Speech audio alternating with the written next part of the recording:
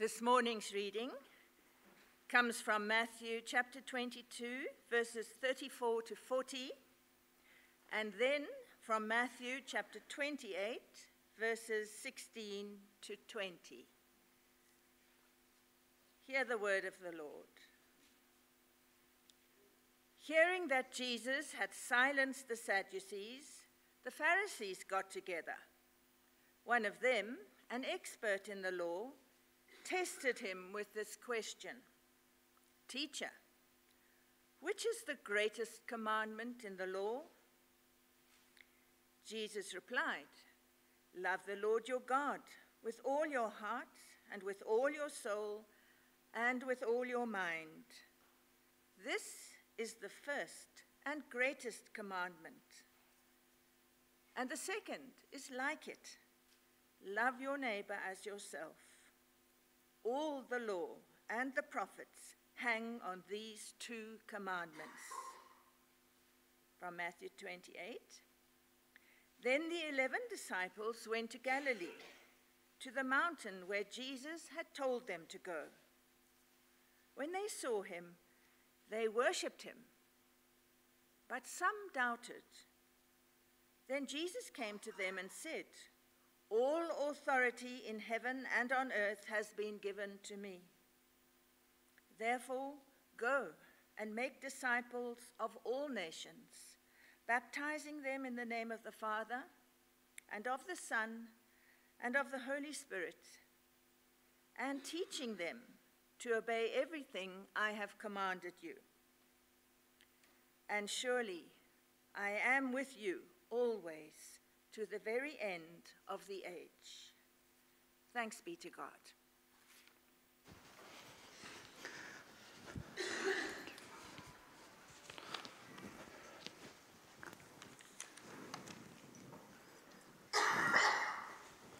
Well, good morning, good morning. How is everyone this morning? All right? Sorry? Top of the pops. well, it's good to be with you. My name's Dave, and I'm part of the staff here. And uh, we're starting a new series um, this morning. The series has been titled uh, Winter is Coming. Well, it's here. Uh, the series, at least. I'm not sure about the weather. So the weather in the series, well, they haven't quite fitted in, but we had no um, role in that. I, I, I cannot organize colder weather. And that's how it is. But in the series that we're doing, uh, it's a series of six, if you remember correctly, uh, morning and evening for three weeks. So if you want to get the whole series, you come to the morning and evening, and the Thursday service does the evening ones as well. So the people who are part of Thursday, if you come to Thursday and Sunday morning, you get the full series. So that's kind of how it works. You with me? Um, what are we trying to achieve in this series? Notice we've taken phrases that people are using in conversations today. So, what are we uh, trying to achieve? Well, I think we're trying to achieve this. We're trying to understand, in the context of some of the real issues that face our world today, how we, and Christ, we as Christians and as a church should respond and act. The one thing we don't want Christians or the church to be is like a bunch of ostriches. Uh, I don't know if you've seen ostriches, you know, with their, their heads in the ground. That's what we don't want. Because when we're like that, we are saying to the world, well, God is not interested in what's happening. When we are quiet, when we do nothing about the issues around us. Christianity, we're saying, has got nothing to say. And we don't want to give that message. God is the God, not just of the church, God is the God of all nations. God is the God who created everything. And He's concerned for His world. And so we must and should be very concerned for our world. So I hope in this series we just learn together how to respond Christianly, with a Christian worldview, if you like, in our thinking, in our hearts. So many of these subjects are emotional. What are the emotions we should have? And then, thirdly, in our bodies, as in how we act or behave mind, heart, body. What is the Christian response? How do Christians deal with that? Does that make sense to you? I hope some of that um, happens um, in our time together. Gra- gracious Father, help us in this series. Help us to learn to respond to our world with the heart of Christ and the mind of Christ. That our actions would be uh, uh, based on your calling to us as Christians. And we ask this in your precious name. Amen. Today, the subject um, is uh, what was the phrase? Uh, what's with all this war? Uh, what do we do with these wars? Right now, as we sit here, there are two major battles happening in our world. There's a battle that's been going on since 2022 when Russia invaded Ukraine. What do you make of that? Then there's another battle, slightly different, very different. Russia uh, invading Ukraine is kind of makes, doesn't make sense, but you kind of see a nation against a nation and one nation defending itself. And that's divided the world, as war does. There's nothing pleasant about war, it's divisive. But the other battle is a bit more complex. Because the other battle in the Middle East is a response from Israel after a attack, a terrorist attack from Hamas in October last year. Yet Israel has responded with mighty force. And we see what's happening in Gaza. Yeah, that's created all sorts of emotions. Is that the right response? To go after a whole bunch of people like that? Uh, that created debate and ugliness. You've heard the emotions. What do we do? Let me say, firstly, but by just way of introduction, that God has made us rational, emotional, and of course, with a body. And so, yes, we, we react, and we should rationally. Look at what's going on, see what's going on. Don't turn our backs on it. Work to make sense of it where we can make sense. But ask ourselves this question if God is the God of all nations, if God is alive and ruling from above, our Lord is on the throne, what does God think about what's going on? Let, let that help us in our thoughts and our responses as well. What do our doctrines say? How do that help us, our beliefs, to react? That doesn't mean we have all the clear answers. But we can't just listen to every voice and react to all the voices. We, as Christians, have to begin to think properly.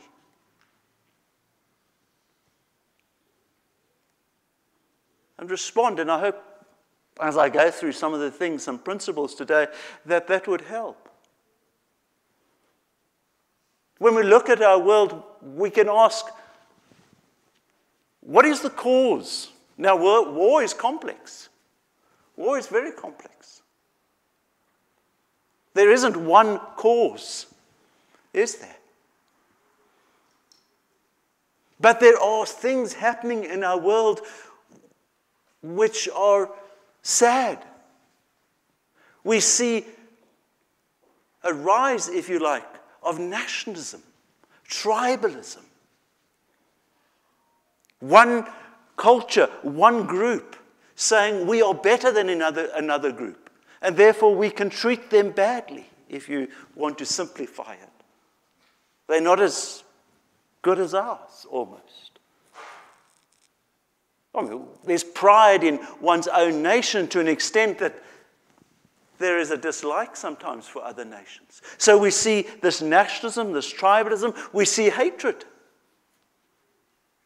prejudice, violence, not only in those two battles, but everywhere. So, if I may be bold enough to suggest that the world is at war, because all those things are going on. What is the Christian response? How should we be thinking about nationalism and tribalism and the hatred and the violence that's going on there?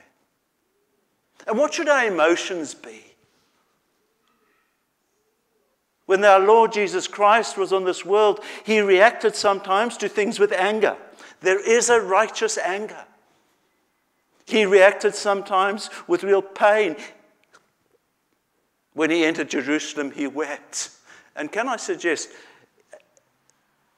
that that is one of the great or most significant emotions for Christians to have lament. When you look at those pictures, another child wrapped in a cloth in Gaza, ready to be buried, another mother another father.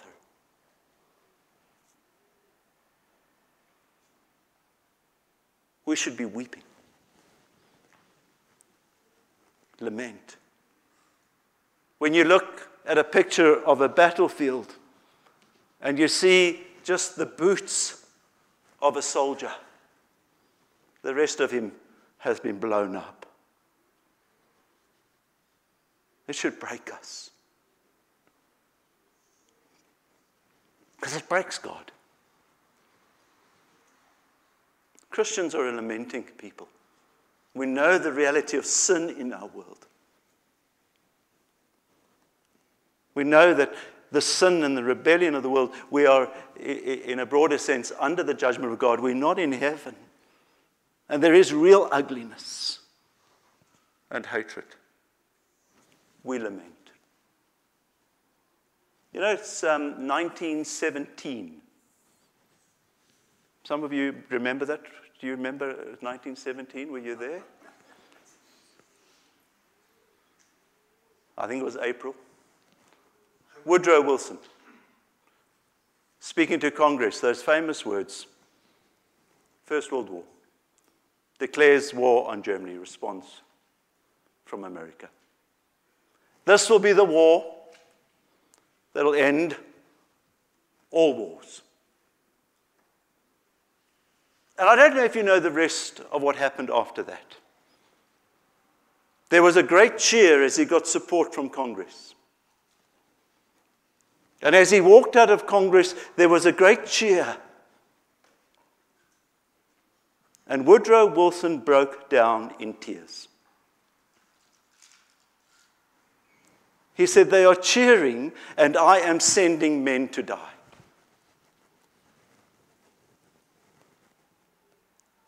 Of course, it wasn't the war to end all wars, because that's the world we live in this side of heaven.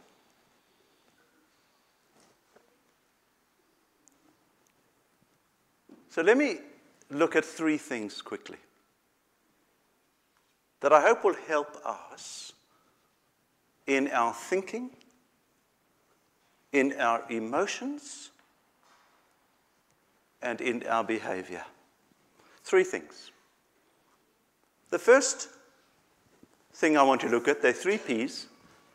As Christians, we are to proclaim the message of our Lord Jesus Christ. There isn't a time when it's not a season to proclaim the message of our Lord Jesus Christ, the gospel. But just think about this. This gospel we proclaim is not just God's on the throne, everything's okay. I'm not sure that's going to be a helpful conversation, as much as we may believe that. This gospel we proclaim isn't just uh, the Lord Jesus Christ saves. As much as that's true, have you thought about the gospel we believe in? Have you thought about what are, what are the things that happen when our Lord Jesus Christ will go to the cross?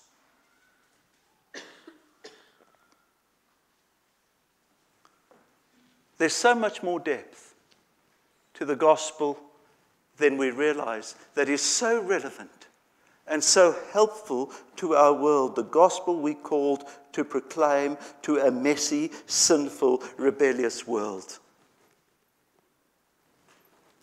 It was C.S. Lewis who said, In prosperity, God whispers to us. But in adversity, he shouts at us. And I think it's in times of adversity that we really come into touch with the reality of the gospel. Do you believe that the proclamation of the gospel is helpful to a world in distress? Because this gospel that we believe in is a gospel about a Savior who suffered and died. Only, only Christianity has a God who suffered, proving, in one sense, his commitment to us in our brokenness, our pain, and our sinfulness. Christianity has at its heart an act of tragic and unjust suffering and death. At its heart. Can you see the relevance of that gospel to today? He is so committed to ending suffering and death that he will go to the cross and dealing with judgment and sin, that he will go to the cross. He will go through injustice. He will go through suffering. Isn't that a message that's helpful to today's world? And he will rise from the dead so that there is such a thing as a new heaven and a new earth. There is hope. And as Christians, when we speak, when we act, when we share our emotions, do they reflect hope? Do they reflect a suffering Christ who went through injustice, an unjust trial, and experienced injustice? A Christ who's real in the context of our world, not just heaven, it'll all be fine. It's okay. God is in control. Do you see what a wonderful gospel we have? No other religion can speak to that. Proclaim the gospel of our Lord Jesus Christ. And when Christ Jesus died on that cross, he did not die as a nationalist. He did not die as a tribalist. He did not die with hatred in his heart for enemies or a particular race, person, culture, nation. For God so loved the world that as he died, he reached out from every tribe, every nation, breaking down any sense of nationalism, tribalism. Is that the gospel we believe in? That gospel that brings salvation, where Christ dies in our place and takes the judgment we deserve, is much bigger than you think. Does it impact us? Mind, heart, body action. Secondly, we proclaim. Secondly, we play. We play on the field. We engage with the world. As I said, we don't be like ostriches with our heads in the hole. And can I say, we play the ball, not the man, the person, in a sense. We play the righteous gospel ball. We don't play the person. Ah, it's all, it's all the fault of the Muslims. That is not helpful. Or it's all the fault of the Jews. Or it's all thems.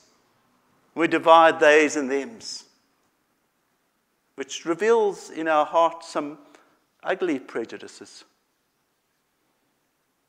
when we do that. We're not playing the people. We get out there. We're prepared to get our hands dirty. We engage the world. We're on the playing field. There was a rugby match yesterday. Rory's still suffering. Uh, the Lions and the Glasgow Warriors. The captain of the Glasgow Warriors, if I may mention him, sorry to talk about your son here, uh, Rory, but the captain stood up afterwards. He was devastated at the loss. It was a big loss. He did the graceful thing and thanked the Lions. But he did say something like this We didn't really pitch. We didn't really pitch as a team. That happens in sport. We, as Christians and the churches, let it not be seen of us that we did not arrive, that we were not there, that we did not pitch. And let me give you three motivations to play. You know how a coach has to motivate the side? Well, let me give you three motivations. When we play in the real world with real problems in a, a world, it, as I said, it is at war in many ways. Firstly, we are motivated by love. Did you listen to that reading? The great commandment that Anthea read to us. The law of love. The law is love.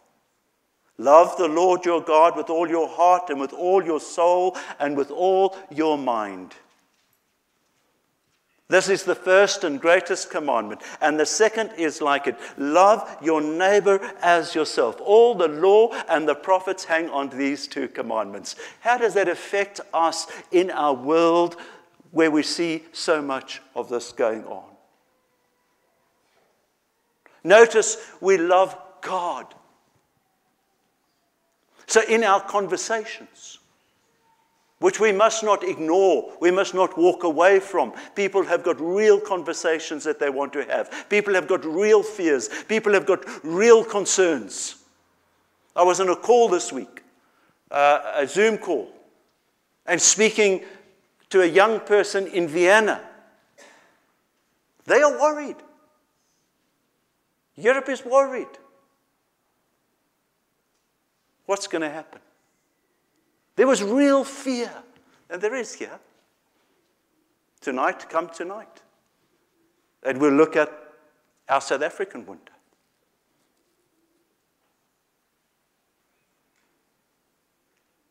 Love God. Our conversation, do they reflect that we love God?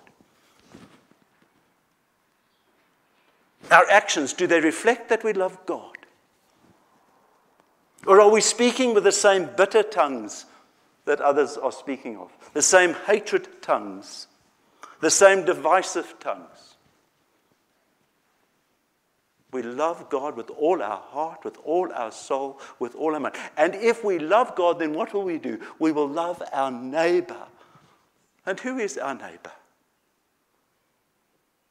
As, we, as you go through the Old Testament, look at neighbor, it's the one in trouble, the vulnerable. All people are neighbors, but especially the vulnerable, the hurting, the pain, the immigrant,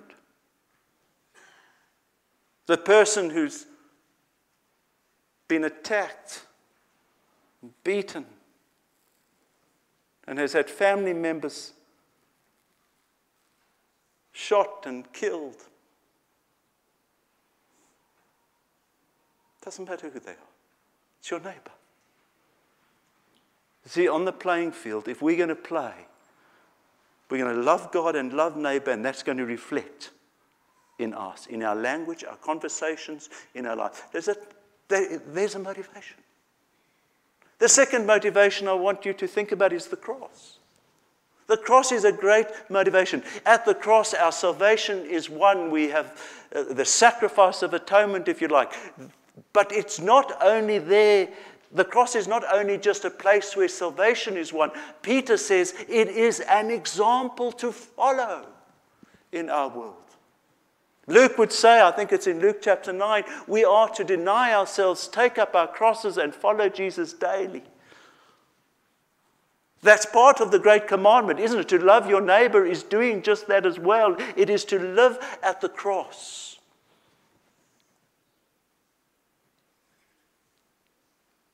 Jesus on the cross, after being treated unjustly, did not see revenge as something great and wonderful. Revenge was off the cards. The cross tells us revenge is off the cards. Hatred is off the cards. Prejudice, tribalism, anti immigrant, whatever it is, off the cards. The cross tells us. That's off the cards. The cross is so powerful, so, so, so powerfully impacts us. When people see us and hear our conversations, is it cross centered? Being prepared to make sacrifices, put selfishness and our own views aside, as Christ did on the cross. Listen to others and their pain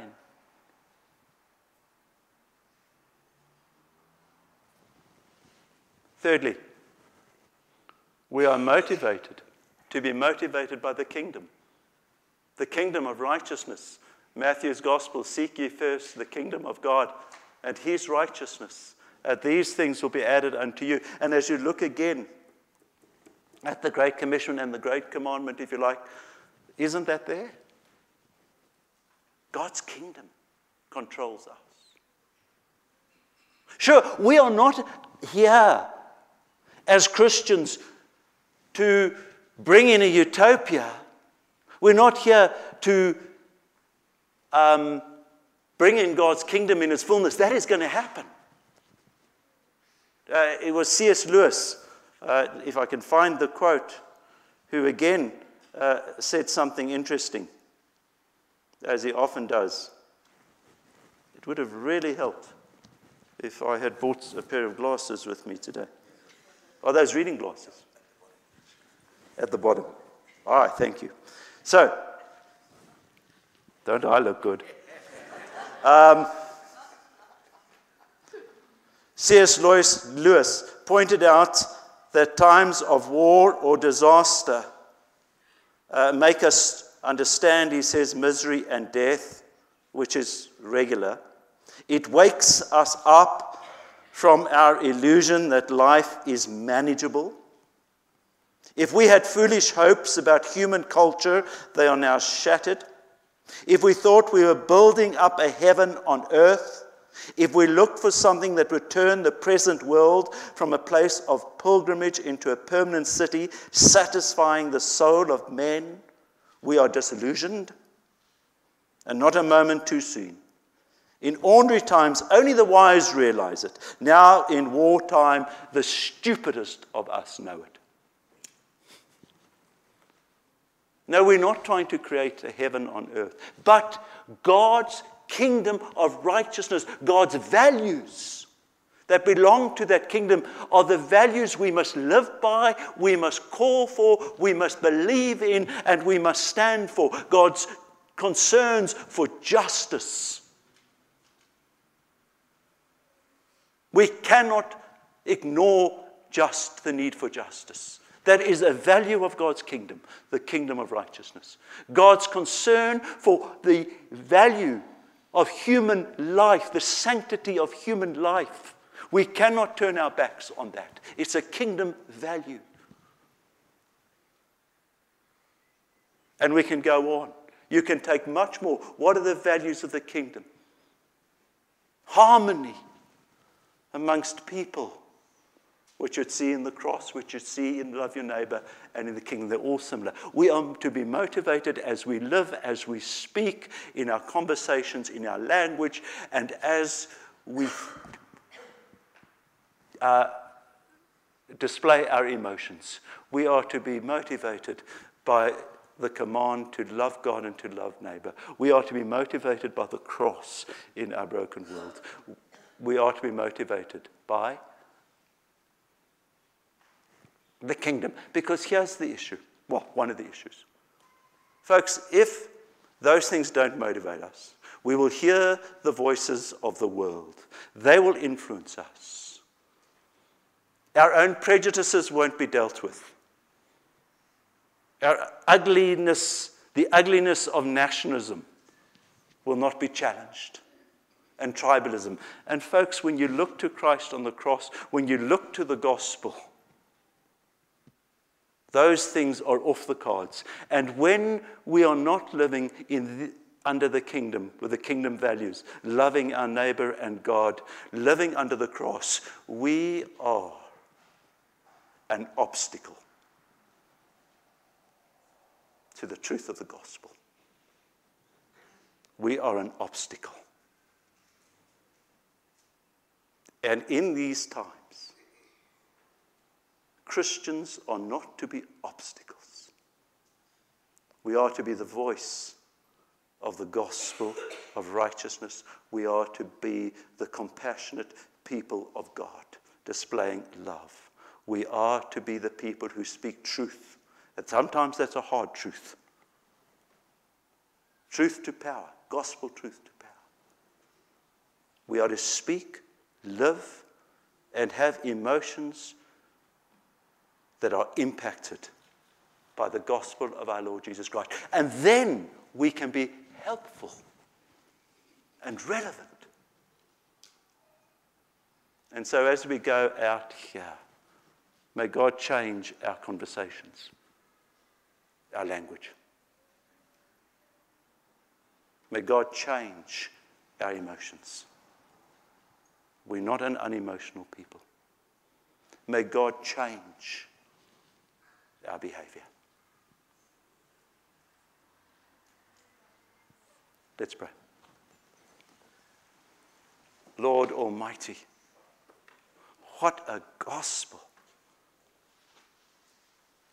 Remind us that you are on the throne, you rule, and you are caring, you are sustaining, you are involved in this world. You are the God of all nations, the Creator God that God is concerned for what is right and just. Help us, Lord, in these times of ugliness and hatred and violence and genocide and just so much that's going on.